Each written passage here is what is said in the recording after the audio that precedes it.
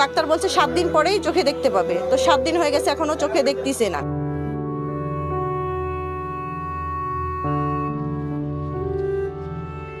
সাদিমন বেগম, স্বামী সন্তান কেউ না থাকায় ভিক্ষা করে দিন যাপন করেন। সম্প্রতি তার এলাকায় মদিনা চক্ষু হাসপাতালের ফ্রি চক্ষু ক্যাম্পে গেলে তাকে ডাকা হয় হাসপাতালটিতে। চোখে কম দেখার কারণে অপারেশন করার জন্য হাসপাতালটিতে চার হাজার টাকা দেন ভিক্ষুক সাদিমন। গত সতেরো এপ্রিল হাসপাতালটিতে তার অপারেশন করার পর তিনি আর চোখে দেখেন না। গত বুধবারের দিন আমি অপারেশন করতে আছি। আমার স্বামী নাই, সন্তান নাই। আমি অপারেশন করি, এখন চোখে তাও দেখতে পাচ্ছি না বেটা।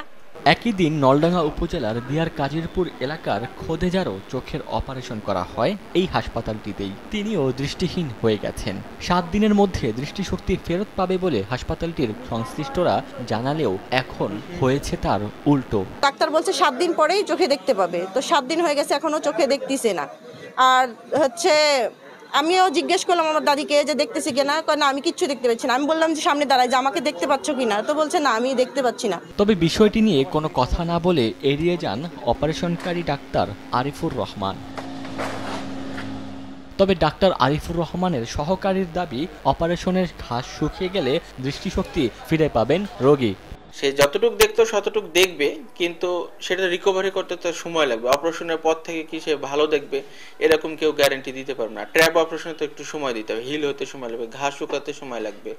এদিকে এই ঘটনার পর নাটোর সদর উপজেলা স্বাস্থ্য কর্মকর্তা ডাক্তার মাহবুবুর রহমান হাসপাতালটি পরিদর্শনের পর বন্ধ করার ঘোষণা দেন। মদিনা চক্ষু হাসপাতাল বুড়ের আড়তে আমাদের এখানে যেটা আছে এখানে একটা রোগীর চোখের অপারেশন করে চোখের একটু দেখতে তার সমস্যা হচ্ছে।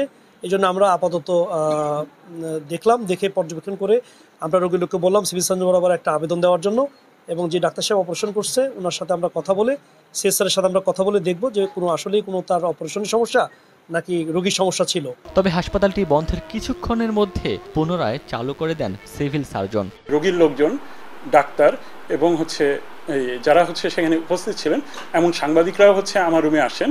তাদের সকলের সাথে কথা বলা হয়, অপারেশনের কাগজপত্র দেখা হয়, রোগীর অভিযোগ সম্পর্কে শোনা হয় সব কিছু জেনে বুঝে যেটা হচ্ছে সর্বোত্তম ডিসিশন আমরা সে পথেই হাঁটি।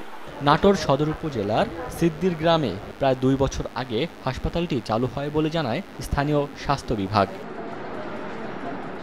সময় সংবাদ, নাটোর।